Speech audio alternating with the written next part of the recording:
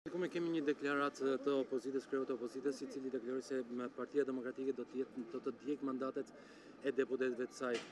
Një opinion ligjor si mund të shkojë deri në djegien e mandateve? Atëherë djegia e mandateve është veprim i ekuivalent me atë të dorëheqjes ndaj një mandati të caktuar. Pra është një veprim që nuk ka asnjë ngërç ligjor përpara se ai të realizohet. Në qoftë se realizohet një gjë e tillë, do të thotë që në Kuvendin e Shqipërisë krijohen vakancat dhe për pasojë Kuvendi i Shqipërisë duhet të njoftojë Komisionin Qendror të Zgjedhjeve për të plotësuar vakancat. Mënyra se si plotësohet vakancat në këtë rast nuk është e shprehur direkt në Kodin Zgjedhor, por për analogji mund të përdoret rasti kur parashikohet në ligj vakanca e krijuar nga një Deputet i zgjedhur me propozim, deputet i pavarur. Që do të thotë, në qoftë se Kuvendi Komisioni Qendror i Zgjedhjeve do të thërrasë anëtarët, kandidatët e Partisë Demokratike në listë dhe asnjëri prej tyre nuk do të pranojë që të marrë mandatin. Ky institucion duhet t'ia ofrojë mandatin pastaja subjektit zgjedhor me herësin më të madh që ka. Por, e gjitha kjo për mendimin tim është një teknikë legjislative dhe që problemi me të cilët jemi duke u ndeshur nuk duhet të trajtohet në këtë aspekt, por për efektin që ai sjell në jetën politike dhe në mënyrën dhe në qeverisjen e gjithë vendit. Ne jemi një shoqëri që kemi pranuar të qeverisemi sipas parimit të përfaqësimit nëpërmjet zgjedhjes së deputetëve, dhe krijimit në këtë mënyrë të mazhorancës dhe të opozitës. Duhet të jenë të dy aktorët së bashku që të mund të mirëqeverisemi.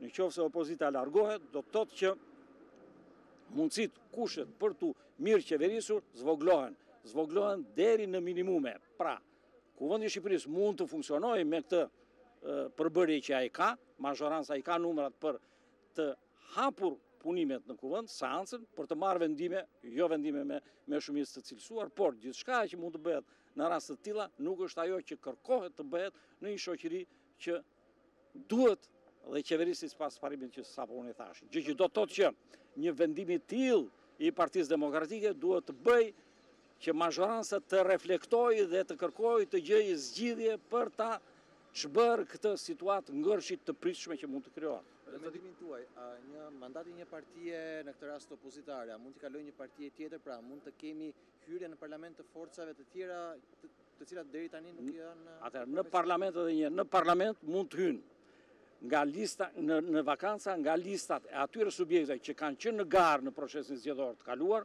dhe që sipas llogaritjeve që bëhen ka herësin më të lartë të madh të mbetur, apo, por mund të futen partitë tjera të cilat kanë garuar në qoftë se. Por sa po. po gjithsesi në 164 të cilës ju referoheni pika 4, i referohet kur bëhet fjalë për koalicionet, kalimi i mandateve të deputetëve. Ndërkohë që Partia po. Demokratike në 2017 po. ka ka kandiduar e pavarur, jo në koalicion. Ashtu, prandaj dhe në fillim ju thash, nuk në këtë një rast tillë nuk ka përgjigje direkte të shprehur në kodin zgjedhor, sepse kodi zgjedhor thot, në qoftë se më shteron Lista e një partie të caktuar pjesë e një koalicioni, ajo i kalon partive të tjera të këtij koalicioni dhe nuk bëhet fjalë për një parti që i mbaron, i shteron lista e saja dhe nuk ka parti tjetër në koalicion.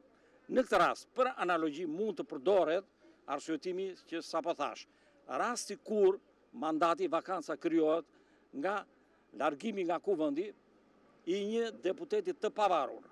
Në këtë rast thuhet, kur largohet një deputet i pavarur, mandati i tij, Komisioni Qendror, mandatin e tij Komisioni Qendror i Zgjedhjeve duhet t'ia japi subjektit me herësin më të lartë.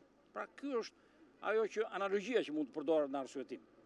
Që do të thotë kjo hap shtegun që të futen të marrin mandatin nga partitë politike që nuk janë që kanë garuar, por që kanë herësin që mund ta përfitojnë një gjë të tillë.